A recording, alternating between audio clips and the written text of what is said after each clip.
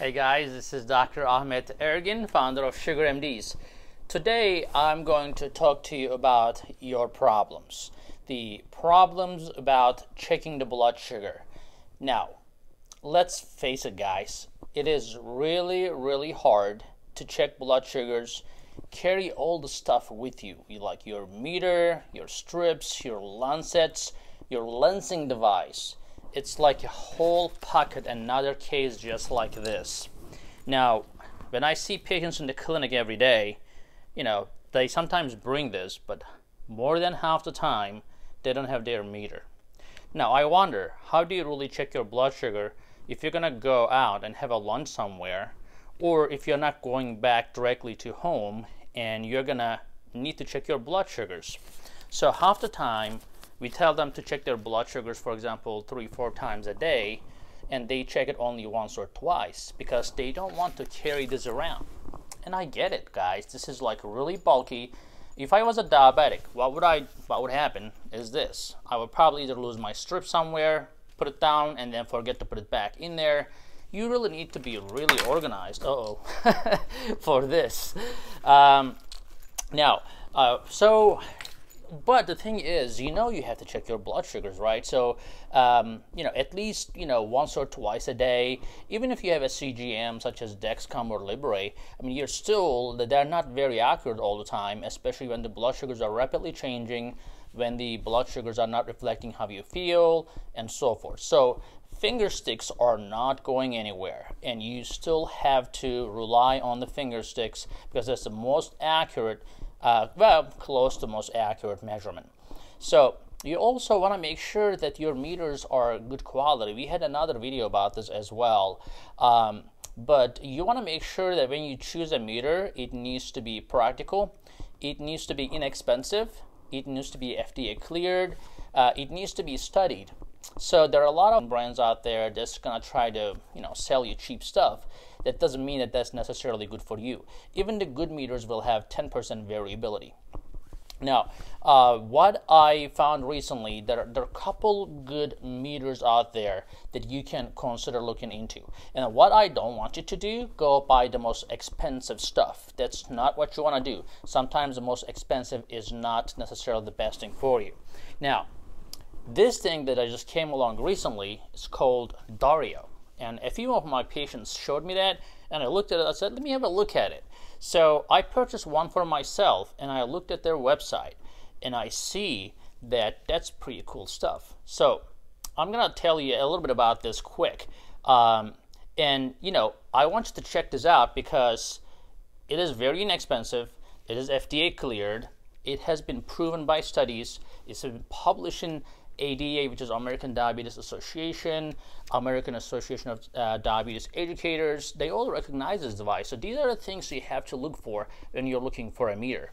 And then you have to make sure that somebody is supporting you. Now, diabetes coaching is extremely important. So if your blood sugars are low or high, your doctor is not going to respond to you immediately, right? So you need a coach, somebody on your side.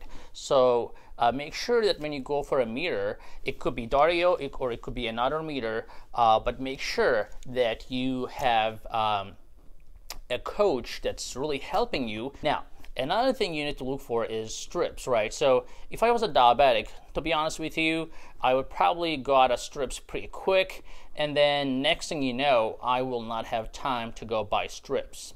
Um, and then, you know, then it's going to create a gap and so forth. But I found that Dario actually pretty much, you know, gives you unlimited strips for a low price. So you can check as many times as you want and you don't have to worry about, you know, having to buy more and more and more so you can stay on a budget. Um, you can do HSA, FSA, like all this medical, uh, you know, even even my practice. If you come become a concierge service, you, you know, you can use HSA, uh, FSA for all these medical things that includes Dario meter as well. And the most importantly, it's HIPAA compliant. So your data is not going to be stolen. It is securely saved and so forth. And the coolest feature that I found on Dario uh, is that actually, uh, when your blood sugar goes low, you can alert four people. That is pretty cool because one of the biggest scare that I have for my patients, what if their blood sugar goes too low? What if they're alone? So, uh, other than that, I think um, one last feature that I found useful was to uh, be able to transfer your health data to your loved ones and to your doctor. So if you're using Dario, it is easy for me, it's easy for you because you can just email me your data um, and so forth. So these are the cool things that I found, but I think the Dario is very practical. So what I found here is that you, you have everything in one device. So think about this. Instead of having everything in uh, everything separately in a big case like this, you have this you can keep in your pocket and the lancet goes right here and that's a lancing device. So it's like a little, little, little uh, pistol. You just cock it and then push the button and then it, it pricks your finger. There's even an adjustment here in a tiny thing like here. So uh, and then when you take this out here's your strips. That's right here. So I'm like that's the coolest meter that I've seen so far that keeps everything in one and you can keep everything in your pocket. So that is pretty amazing. And then everything goes to your app directly so you don't have to worry about recording your numbers. Guys, to claim your 80% discount on Dario Starter Kit, go to mydario.com forward slash sugarmds. You can share your data with your doctor. Um, again, pretty amazing. So if I was diabetic, that will probably be my choice. Um, but let's talk about a little bit other things as well. So when you check your blood sugars, why do you have to record your blood sugar numbers? Or why do you need an app uh, that can actually record your blood sugar numbers? Well, that's important because you need to know, you need to know your trends, you need to know where you're going. Are you high in the mornings? Are you low in the mornings? Um, are you going high after breakfast or different meals? Uh, because trends are much more important than individual numbers. A lot of times patients will come and tell me that their blood sugar was, um, you know, 75. Uh, they're too concerned about this because they think it's low. But I'm like, okay, well, what time was that? It's it was in the morning. Well, how many times do you, you see 70 numbers? They're like, uh, no, not many times. So uh, it's typically like 130, 140, and this time it was 75. Well, I'm more interested in hearing the trending, uh, but yeah, of course I need to know that was 75 one time and what we do in this case, for example, we need to find out why it was 75 that day. Maybe uh, they exercised a lot that day, were physically uh, very active. Maybe they didn't have a dinner that day. Maybe they're on too much insulin and so forth. Uh, but the trend data is the most important thing instead of trying to get hung up on single individual numbers. So your doctor will be able to analyze, and yourself you can analyze as well, see where you're going.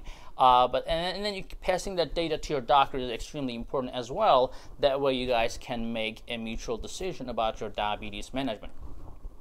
Um, again, the compliance or adherence. I don't call that a compliance, but I call it an adherence to your diabetes regimen uh, is very important. Now, it's easier said than done because, as you all know, diabetes is a lifelong disease and it's a constant struggle to try to remember to check blood sugars, and I totally get it.